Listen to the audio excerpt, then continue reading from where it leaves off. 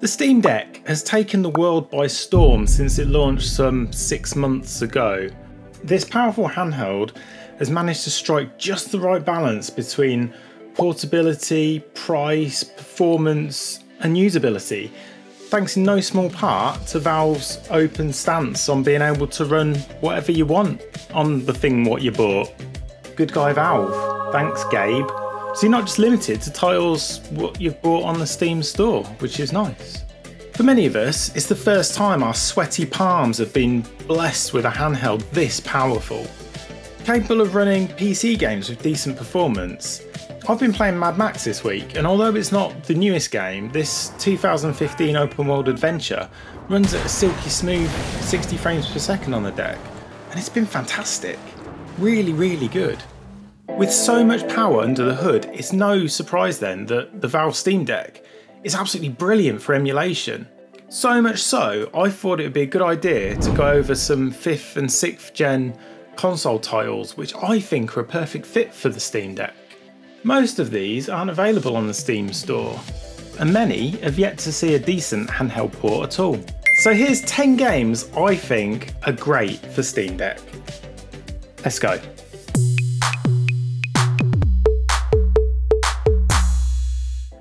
First up then, I've got Rogue Squadron 2 Rogue Leader on GameCube.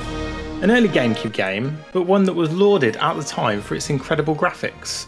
Factor 5 created a modern masterpiece that perfectly encapsulated the feeling of being in your own Star Wars adventure. It plays great here on the deck, and its shorter 10 to 15 minute missions are a perfect fit for this modern handheld. Sega Rally Championship now this classic Saturn racer offers up some fantastic arcade racing action that's just as addictive today as it was back in 1995. There's a Japanese PS2 port available, but it's the Saturn version I'm most fond of. And for many of us, it's the first time we've had a handheld capable of emulating Sega Saturn to such a degree. It's kind of amazing actually. So, Metroid Prime, while we wait until the end of time for Nintendo to bring this to the Switch, you can play it right now on the Steam Deck. I'd like to show you more, but the Big N wouldn't be happy. Just trust me, it works great and it's a lovely game to play on the deck.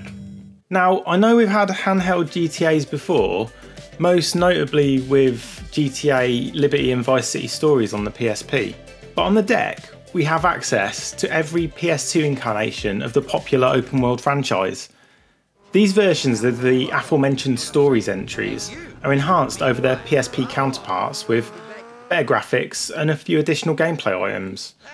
There's still something special about taking a game as vast as GTA on the move with you. I mean, you can try to get the quote unquote definitive editions running, but if you're after some classic 3D era Grand Theft Auto, then PS2 emulation on the deck has you covered.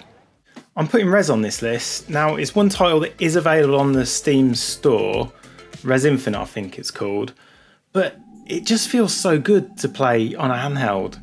There is a PS2 version available, but it's the Dreamcast version that I'm always drawn to. I don't know why. It's probably just down to pure nostalgia at this point. But on the deck, it supports vibration without the need of additional uh, peripherals. That's a weird one. Another 6th gen classic here is TimeSplitters 2. Yeah, we'll see about that. Free Radical's, not at all GoldenEye inspired shooter, is a must play in my opinion. Its Quantum Leap style storyline and mission structure offers up some decent challenge. And with most levels completable, is that a word? Able to be completed in around 10 minutes? It's a perfect FPS to pick up and play on the go. Both PS2 and GameCube ports work great on the deck, so pick your poison and have at it. Ah, Nintendo's still not going to be happy with me now. With Steam Deck delivering solid GameCube performance, I'd be remiss not to put Wind Waker and Twilight Princess on this list. Both classics in their own right. So once again, take advantage of the fact that you've got a Steam Deck and can bring these incredible adventures with you whenever and wherever you want. We've quite recently had the excellent remasters of Tony Hawk's Pro Skater 1 and 2, but if you yearn for the days of classic THPS, then Steam Deck's got you covered.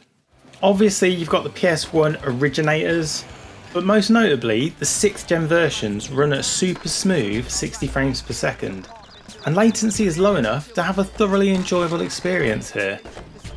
I'm talking everything from Tony Hawk's Pro Skater 3 and 4, through the Underground series, and even Tony Hawk's American Wasteland. We have had Tony Hawk Pro Skater on handhelds in the past, notably the PSP, also DS, and others.